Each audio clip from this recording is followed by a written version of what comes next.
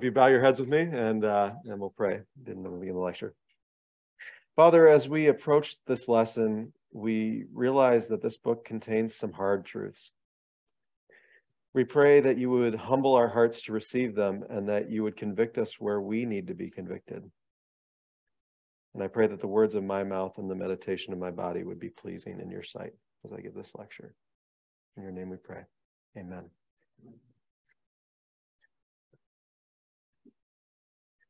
In the 15th year of Amaziah, king of Judah, Jeroboam the son of Jehoash, or Jeroboam II, became king in Samaria, and he reigned 41 years. He did evil in the eyes of the Lord and did not turn away from any of the sins of Jeroboam the son of Nebat, Jeroboam the first, which he had caused Israel to commit. The Lord had seen how bitterly everyone in Israel, whether slave or free, was suffering. There was no one to help them. And since the Lord had not said he would blot out the name of Israel from under heaven, he saved them by the hand of Jeroboam the second, or Jeroboam the son of Jehoash. That last bit sounds great, doesn't it? God is faithful to his rebellious people, and he raises up a king to deliver them, even if that king is an evil king. And that deliverer reigns for 41 years, which is the longest reign of any of the kings of the northern kingdom. It even says in 2 Kings 14 25 that he restored the borders of the northern kingdom back to what they would have been in Solomon's day, with the obvious exception of the southern territory of Judah. This was a time of economic prosperity for the northern kingdom, the golden age of Jeroboam II. And yet, things were not as they might seem. In Exodus 2, God had seen the suffering of his people in Egypt and had heard their cries and sent a deliverer to them. And he had done so here as well. But we will find that this deliverer did not rule with justice and righteousness. No. In his golden age, the old adage was undeniably true. The poor stayed poor, the rich got richer. But God saw this, and as Amos begins his prophecy to the northern kingdom in chapter 1, verse 2, the Lord, the lion, roars from Jerusalem in the south. And in the face of his wrath, the pastures of Carmel at the far northern expanse of the northern kingdom wither.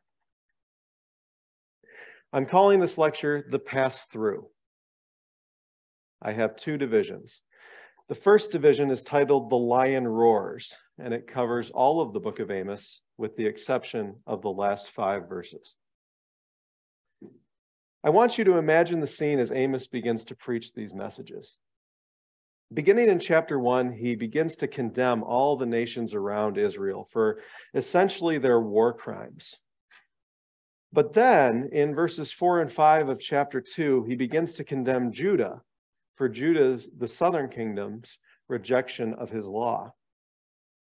And I'm sure that as the people of the northern kingdom, Amos up to this point, he would have had quite the hearty response. They would have loved it. But then he turns to his audience in 2 verse 6.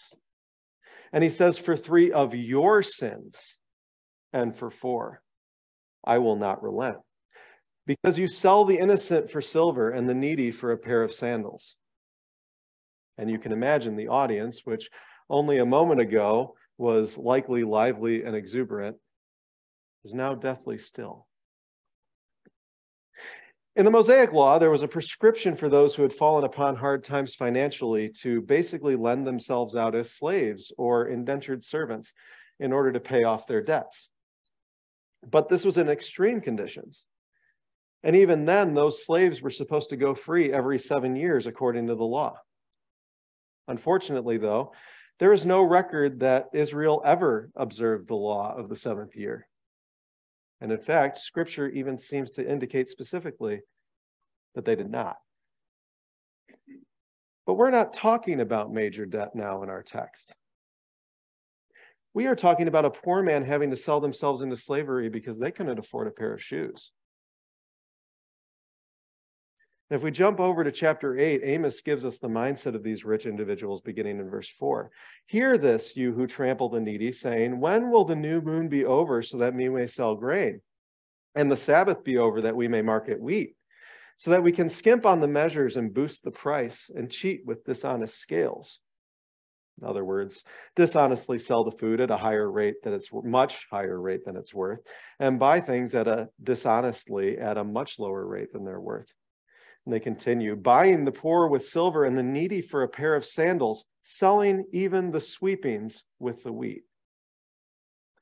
And that's referring to the threshing process.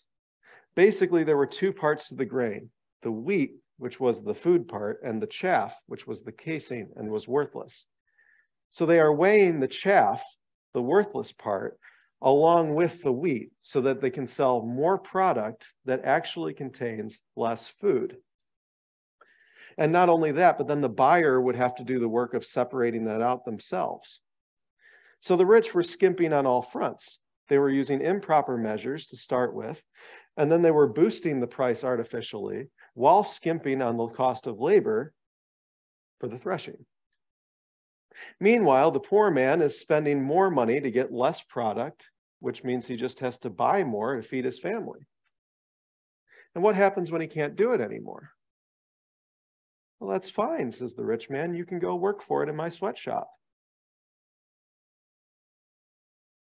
See, God had delivered Israel from oppression by the hands of Jeroboam II. But under his rule, it was only the rich who were benefiting from this golden age. The rest were even more oppressed than they had been before. And God has seen it and is not pleased. Back to 2 verse 7 chapter 2, verse 7. They trample on the heads of the poor as on the dust of the ground and deny justice to the oppressed.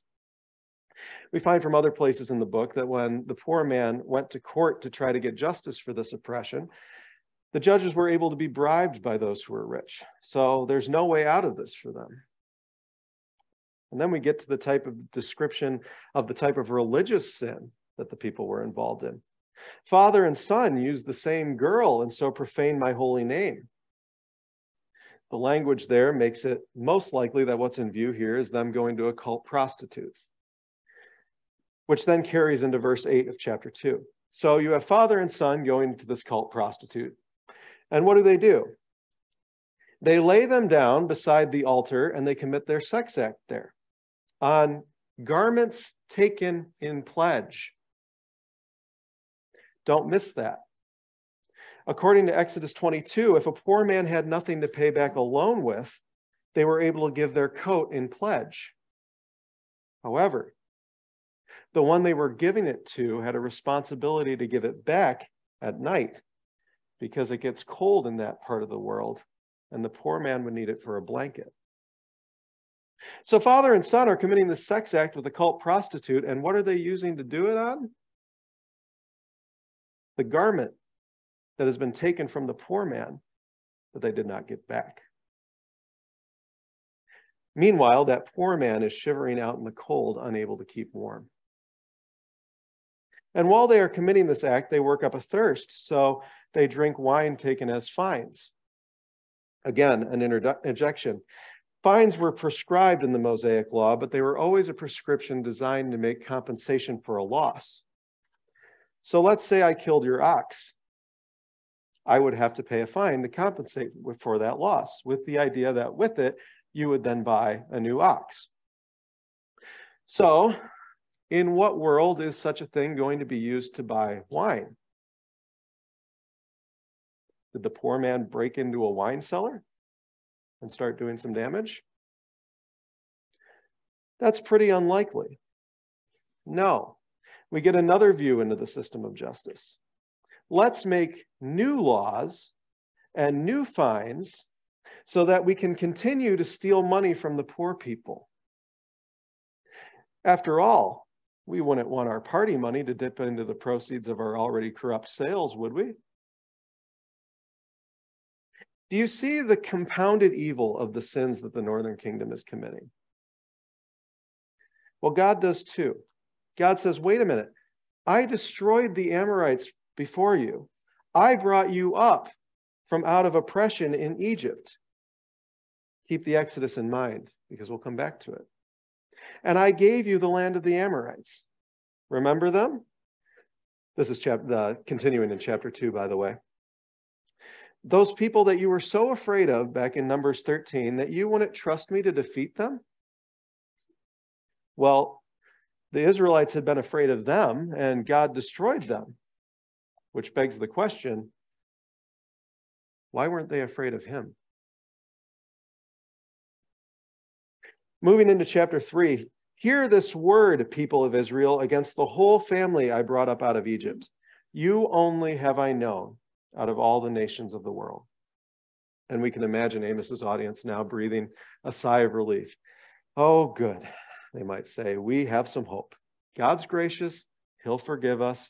Everything's going to be okay. We have nothing to worry about. But that's not what Amos says.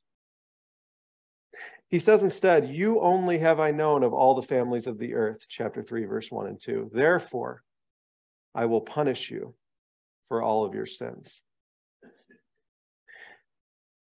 Do we, do we think that our special status as God's people gives us a get out of jail free card to commit as much iniquity as we want? Not on your life. This is a lesson we need to take note of today. The sacrifice of, sin, uh, of Christ does not give us license to commit sin. Quite the opposite, in fact.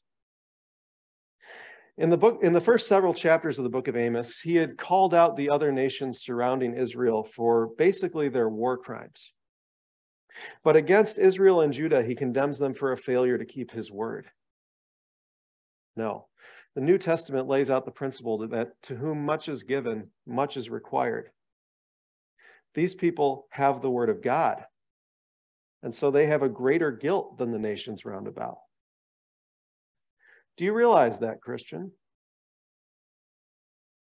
The church of our day is taking great sport in bewailing the evil of our culture around us. Good job. Now, there's a place for that, of course. But let's examine our hearts. Is it possible that the reason we point out evil in the unbelieving culture around us so much is that when we do so, it becomes easier to ignore our own evil? Is it really just our pride and self righteousness talking, if we're honest? Here's the problem, though that unbelieving culture around us, they don't believe the word of God. We do, or at least we claim to. What did Jesus say in Luke 12? That the slave who did not know his master's will will receive a few lashes, but the one who knew his master's will and did not do it will receive many lashes. Friend, do you realize that your sins as a Christian are worse than the sins of an unbeliever? Why is that? It's because you should know better. So God says, You only have I known out of all the families of the earth. Therefore, I will punish you for all of your sins. As Peter says, judgment begins at the house of God. Then, in the next few verses of chapter 3, Amos lays out a series of rhetorical questions that have obvious answers. The reason for this is to build up the emphasis upon his final question. Beginning then in verse 3 of chapter 3 Do two walk together unless they have agreed to do so? No, that doesn't happen. They either meet beforehand or they meet along, up along the way and continue on together. Does a lion roar in the thicket when it has taken no prey? No, that's not what happens. A lion will ta- stalk its prey totally silently until it, it, and it will not roar and until it is springing upon its prey and it is too late for the prey to escape. Does it growl in its den when it has caught nothing? No. Does a bird swoop down into a trap on the ground when there is no bait in the trap? No. Why would it do such a thing? Does a trap spring up from the ground if it has not caught anything? No, there's no reason for that.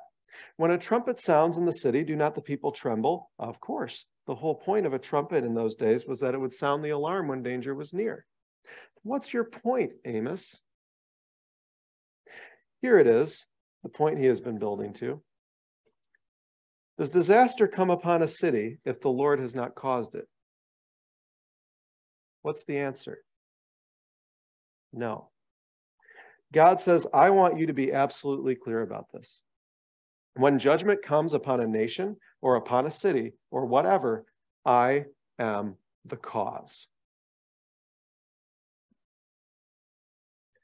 Did you think that he was a God that just showers blessings upon people and never acts in judgment? He is not just the sacrificial lamb that provides atonement for sin. He is the lion of the tribe of Judah. And the lion has roared. Remember, that's how the book opened in chapter 1, verse 2. And we just were asked in verse 4 Does a lion roar in the thicket when it has taken no prey? And the answer was no.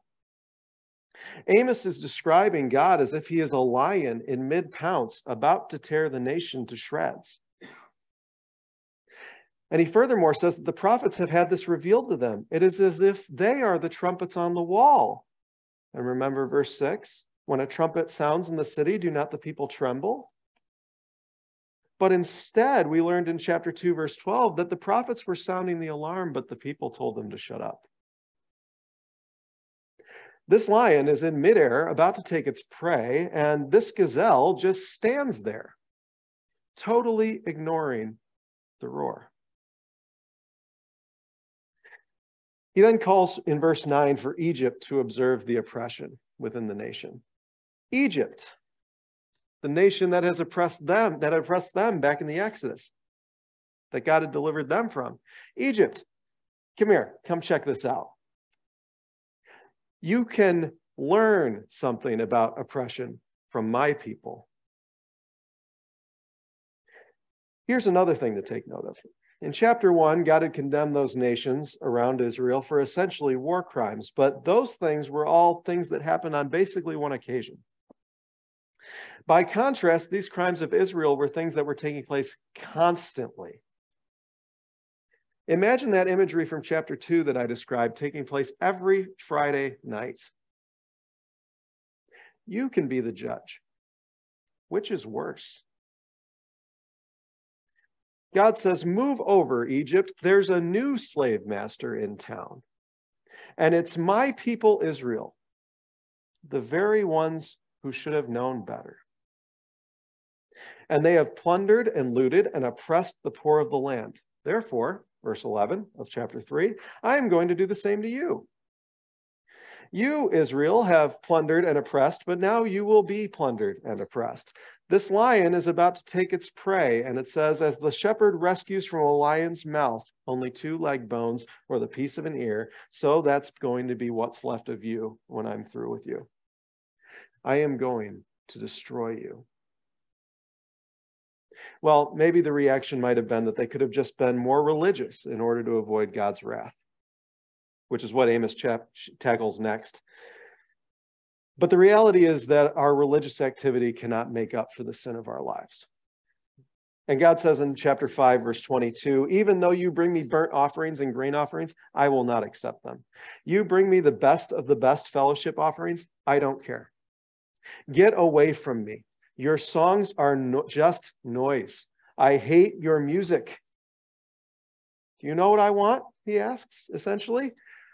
I 5 verse 24 i want your life not to be characterized by the evil of chapter 2 an ongoing week in and week out abomination of indulgence and oppression but instead 5 verse 24 i want your life to be characterized by an ongoing ever ending streak of justice and righteousness.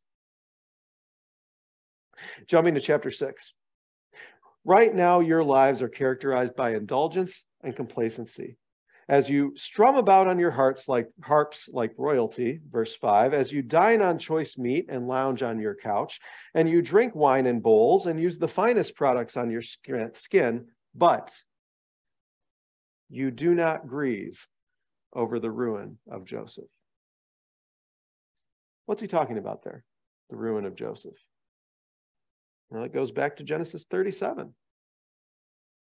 Do you remember what happened when Joseph went out and met with his brothers? They were jealous of him and took his coat, just like Israel was stealing the garments of the poor people. And then they threw Joseph in a pit to die. But what did they do then? It says in Genesis 37 that they sat down to eat and indulge themselves, while Joseph was meanwhile certainly screaming from the bottom of the pit. And they paid him no heed. And then they sold him into slavery when the Midianites came by. Amos says to the northern kingdom, That's who you are. You live high on the hog, but you have done so by theft and oppression and by selling my people into slavery. And you totally ignore the cries of my people that you have oppressed, the cries which God takes note of. Well, you want to oppress people like Egypt, then I'll treat you like Egypt. Back to 5 verse 17. There will be wailing in the streets and vineyards. Why? Because I will pass through your midst, says the Lord. Exodus 12 records an important event the Passover. When God killed the firstborn in all the land of Egypt and rescued his people from slavery, it says he passed over his people, which is how the event gets its name. But it says in Exodus 12 also that he would pass through the land of Egypt the very same phrase he uses in 5 verse 17 of Amos. You are oppressing my people, and I am going to come in judgment against you for it. Why did they do this to the poor people? It was because of their pride. They thought themselves to be better than those below them on the totem pole, and they used them to indulge themselves. And so God says in 6 verse 8 that he abhors the pride of Jacob and that he would deliver them up. And jumping to 8 verse 7, he swears by himself that he will never forget anything that they have done. What a terrifying thought. The same God who promises his people that he will wipe every tear from their eyes and remember their sins no more now says to these people that he will never forget anything that they have done. That's the sad reality of future judgment for those who have not trusted in God. We see it in Revelation 20, where it says, Then I saw a great white throne and him who was seated upon it, and I saw the dead, great and small, standing before the throne, and the books were opened. And another book was opened, which is the book of life. And the dead were judged according to what they had done, as recorded in the books. Every deed every sin, every violation of the law of God, never forgotten. And it says that anyone whose name was not found written in the book of life was thrown into the lake of fire. It is only those whose name is found written in the book of life who are spared, those who truly trust in the true God. But these people have rejected his word and his prophets and so it will be taken from them. Amos 8, verse 11. The days are coming when I will send a famine through the land, not of food or of water, but of hearing of the word of God. The very source of deliverance will be taken away. And that's what happened to the northern kingdom. The golden age was about to come to an end. Even as the reign of Jeroboam II came to a close, the nation of Assyria was on the rise, and they would come and they would wipe the northern kingdom off the face of the earth. It happened about 40 years after Amos gave his message. And do you know who caused it? God did. Who says in 9 verse 4 that he will look upon them for harm, literally for evil in the Hebrew, and not for good. After all, 3 verse 6 it said, Does disaster come to a city if the Lord has not caused it? The lion of the tribe of Judah had roared, but they had not listened. Instead, though they claimed to be the people of God, by their actions they denied it.